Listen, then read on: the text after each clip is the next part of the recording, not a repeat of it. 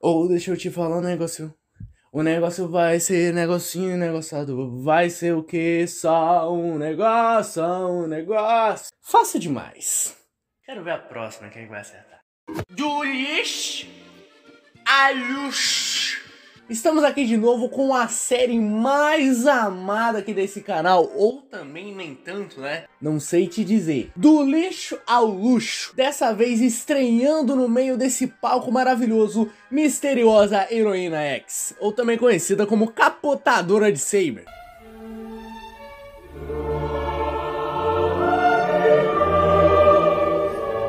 Que está com Hate Up agora graças ao evento de Saber Wars, que se você não viu o último vídeo, que é de eu fazendo a história do Saber Wars com os melhores momentos, já vai lá ver. Tô falando, a cada dia aumenta mais a minha habilidade de marketing. O miserável é um gênio! Que nesse quadro a gente vai pegar o personagem do lixo e vai levar ele ao luxo, mostrando todos os pontos positivos, porque aqui nesse quadro nós não podemos falar os pontos negativos do personagem. Que nesse daqui a gente vai tentar levá-lo ao luxo, né? Porque é meio complicado. Mas vamos que vamos. Mas se você não liga para Santos Quartz, né? Você já tem o Santos Quartz suficiente para você pagar o Piri, porque o Piri no Fate Grand Order é uma coisa extremamente justa, né? Vamos para as habilidades da nossa heroína, que eu já vou falar direto as habilidades com rank up para já agilizar o processo, entendeu? Com a sua primeira habilidade dando defense down em todos os inimigos e depois de um turno tendo 80% de chance de stunar cada inimigo. Eu já usei tantas vezes essa habilidade, eu já usei tantas vezes isso daí, que não tá escrito no papel. Porque tem uma missão na América que você tem que ficar enfrentando um monte de vezes um monte de dragão. E os dragão é tudo Rider, e ela é Assassin, então ela dá muito dano. Então toda hora eu pegava ela e ficava dando esse stun. E é 80% de chance, que é muito mais razoável que alguns personagens no jogo que tem apenas 8%, né? Tá falando comigo? Tá falando comigo? Tá falando comigo? Tá falando com quem então? Aqui não tem mais ninguém. Sua segunda habilidade sendo uma bomba de estrelas que ainda gera invencível para ela por um turno. Que qualquer tipo de habilidade de bomba de estrela que gera algum tipo de status positivo pro personagem, eu já acho extremamente bom. Já que quem que não gosta dar aquele críticozinho gostoso? E a sua última habilidade, que eu me pergunto quem é que foi o idiota que teve a ideia de colocar essa nomenclatura aqui. Parece burro! Botasse A mais ou X já tava maravilhoso, aí não. Inventaram de colocar Chex A. Com essa habilidade aumentando o drop de estrela contra Saber por 3 turnos, dando dano especial contra Saber em até 50% a mais de dano contra Saber, e aumentando o seu ataque em até 20 ou 30%, dessa vez eu esqueci, tá na tela aí, por 3 turnos. Eu acho que aí já deu para você começar a entender por que, que ela é a capotadora de Saber. Que esse personagem, se ele tivesse um rank up, que eles usassem um cérebro para fazer esse rank up, ele viraria um dos melhores personagens para bater em Saber.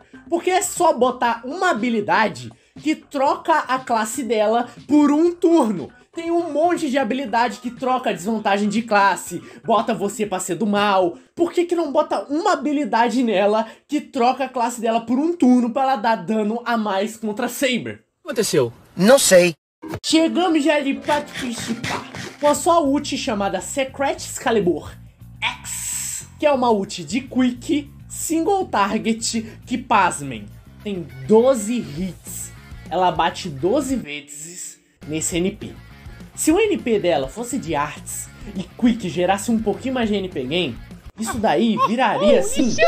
Um monstrinho, né? Pequenininho pra botar no bolso. Com o seu NP tendo um multiplicador de dano até que alto, já que é single target e quick, então tem que ser alto esse multiplicador, que é de 1600%. Só que esse 1600% no NP1, no NP5, né? Obviamente vai dar mais dano.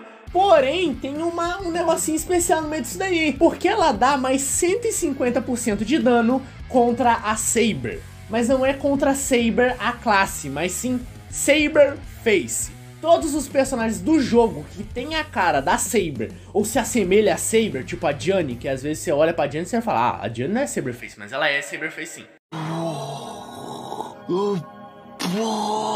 Lembrando, a habilidade dela aumenta dano contra Saber, a classe Saber. Só o NP dela que precisa ser Saberface.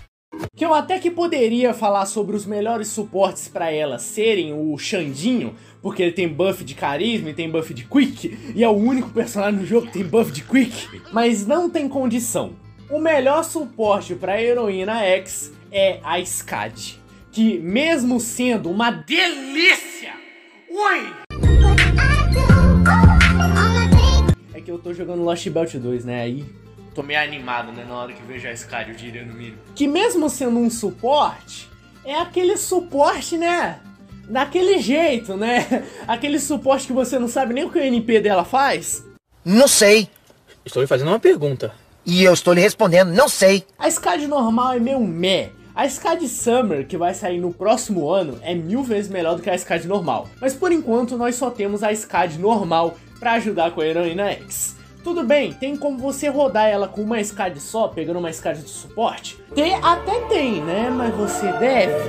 Porque Double SCAD vai ajudar bem mais o personagem, não é?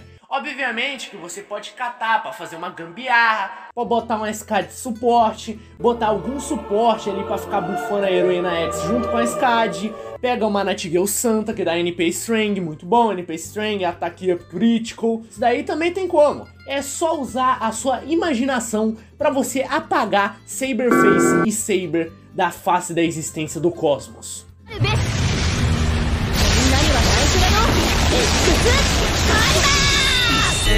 Será que o destino